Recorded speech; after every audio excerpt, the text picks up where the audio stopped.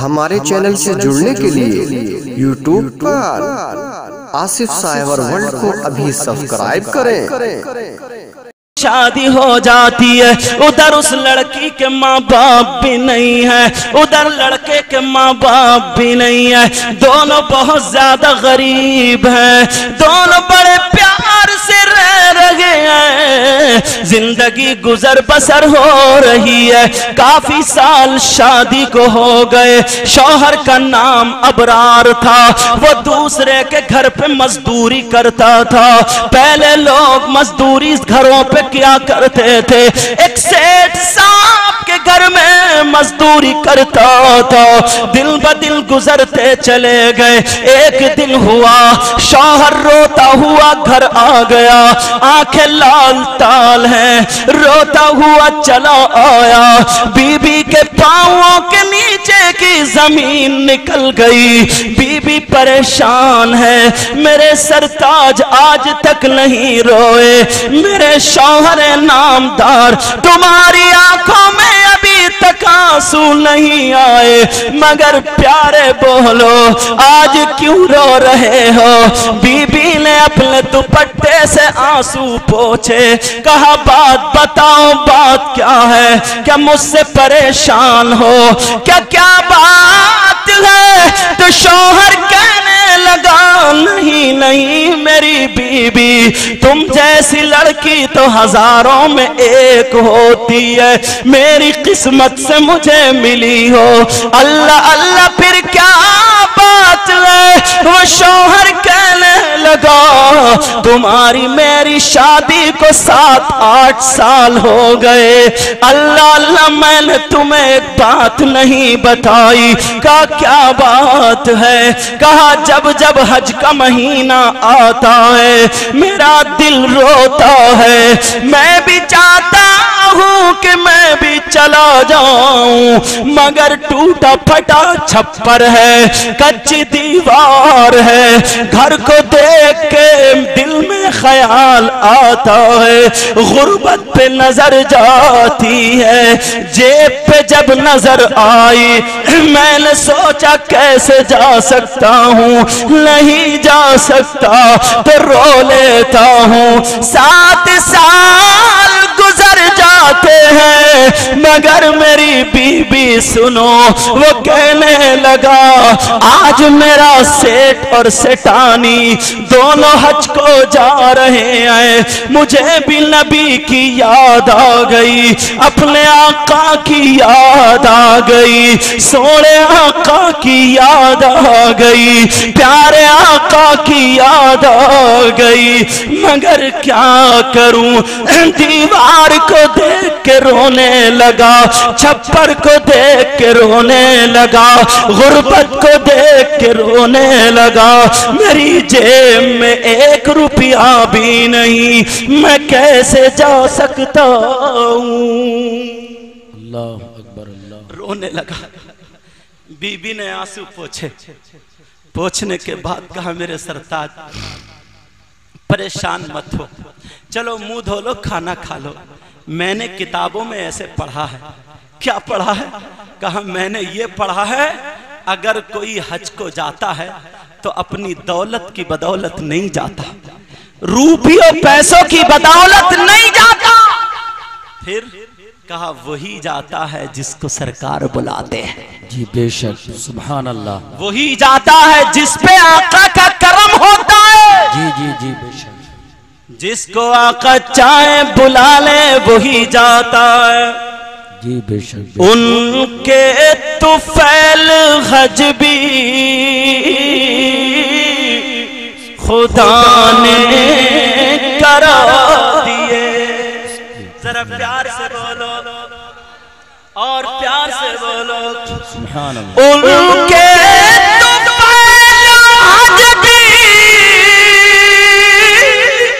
خدا نے کرا دیے۔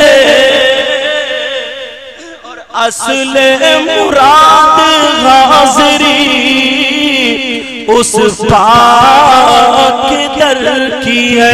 واہ واہ سبحان اللہ سبحان اللہ میرے ماشاء اللہ سرتاج میرے سرتاج رو مت روپیوں کی بدولت کتنے کتنے بڑے مالدار ہیں۔ وہ بھی کوئی جا سکتا تھا لیکن نہیں اللہ جس کو بلاتا ہے سرکار جس پہ کرم فرماتے ہیں، وہی حج کے لیے جاتا ہے۔ اور انشاءاللہ تم پریشان مت ہو، اللہ تعالیٰ آپ کو بھی بلائے گا۔ رسول پاک کا آپ پہ بھی کرم ہوگا۔ جب اتنا کہا، بی بی نے اپنے شوہر کا وضو بنوا دیا۔ اور وضو بنوانے کے بعد اب شوہر کو کھانا کھلا دیا۔ کھلانے کے بعد، نماز کے بعد شوہر کو لٹا دیا۔ شوہر کا سر دبانے لگی اور سر دباتے دباتے شوہر کو سلا دیتی ہے۔ اللہ اللہ، یہ غریب لڑکی ابھی خود نہیں سوتی ہے۔ خود نہیں سوتی ہے۔ شوہر کو سلا دیا۔ اب اس کو کھانا یاد نہیں آیا۔ اس کو پانی یاد نہیں آیا۔ اس کو مسلح یاد آ جاتا ہے۔ مسلح بچھا کر کے اب مسلح پہ بیٹھ کے قرآن کھول لیتی ہے۔ اس نے کہا، سیدہ فاطمہ نے فرمایا تھا، میں نے پڑھا ہے۔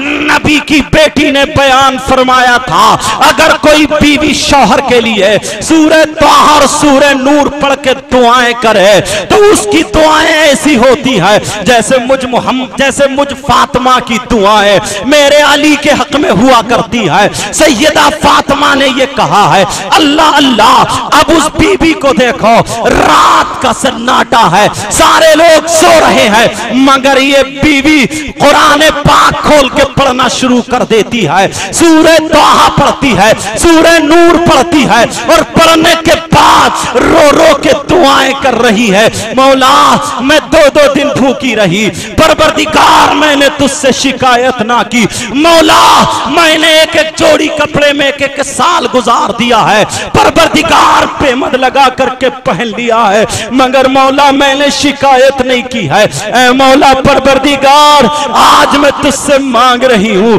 اے مولا، میں دامن پھیلا کے مانگ رہی ہوں۔ اپنے لیے نہیں، بلکہ میرا شوہر جو سو رہا ہے، میں اس کے لیے مانگ رہی ہوں۔ اے اللہ، تو میرے شوہر کو بلا لے۔ میرے شوہر کو حج کے لیے بلا لے۔ ارے، یہ لڑکی رات پر روتی رہی اور دامن دوپٹہ پھیلا کے روتی رہی اور مانگتی رہی، مولا، تجھے میری غربت کا واسطہ، پروردگار تجھے کربلا والوں کا واسطہ۔ اے مولا، کربل کے میدان میں چھے چھے مہینے کے جو بچے شہید ہوئے، مولا، ان کے خون کے کے قطرے کا واسطہ۔ اے اللہ، تو میرے شوہر کو بلا لو۔ پیارو، اگر اچھی لڑکی گھر میں لاؤ گے غریب لڑکی گھر میں لاؤ گے تو وہ تمہارے لیے رحمت بن جائے گی۔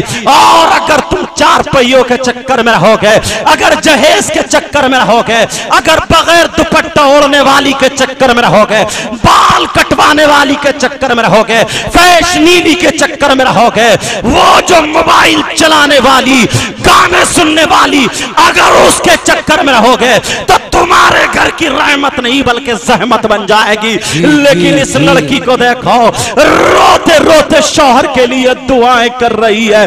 مانگ رہی ہے مولا، پروردگار میرے شوہر کو بلا لے۔ ایسا انتظام کر دے۔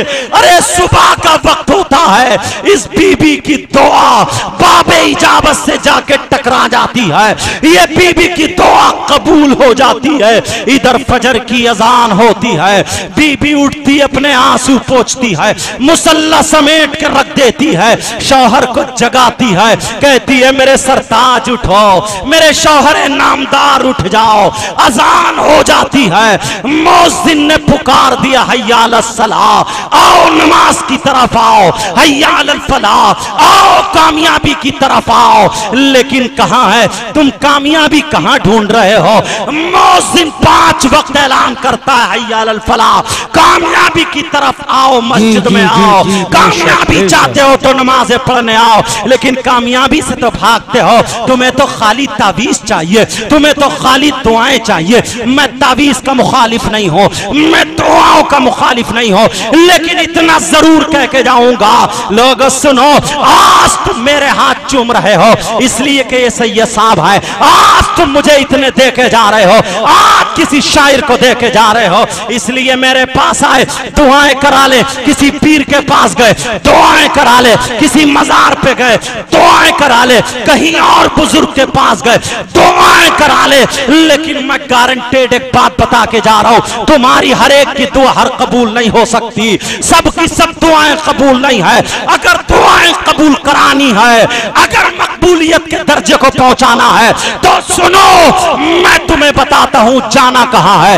میں تمہیں بتاتا ہوں کس کے ہاتھ چومنا ہے میں تمہیں بتاتا ہوں کس کی خدمت کرنی ہے میں تمہیں بتاتا ہوں کہاں پہ جا کر کے قدم ٹیکنا ہے میں تمہیں بتاتا ہوں کہاں جا کے دعائیں قبول کرانی ہے میں یہ نہیں کہتا ہوں ولیوں میں مت جاؤ جاؤ میں یہ نہیں کہتا ہوں بزرگوں میں مت جاؤ جاؤ ارے سب کام کرو لیکن سنو اصلی چیز کیا ہے اصلی چیز تمہارے ماں باپ ہے اصلی چیز تمہاری ماں اور تمہارے ماں باپ ہے نبی فرماتا فرماتے ہیں۔ آمنا کے لال فرماتے ہیں۔ یہ تیرا میرا کلام نہیں ہے پیارے۔ اس نبی کا فرمان ہے جس نے چودہ سو پندرہ سو سال پہلے ہمیں دعوت دی تھی خدا ایک ہے۔ ہمیں بتایا تھا فرشتے ہیں۔ اسی نبی کا فرمان ہے دعا الوالدین انا اولادی اولادہما کا دعا امتی ہی نبی فرماتے ہیں۔ ماں باپ کی دعا اولاد کے حق میں ایسی ہوتی ہے جیسے مجھ محمد کی دعا میری امت کے حق میں ہوتی ہے بہت خوب نارئی تکبیر۔ میرا دونوں ہاتھ اٹھا کے جواب دے نارئی رسالت نارئی حیدری،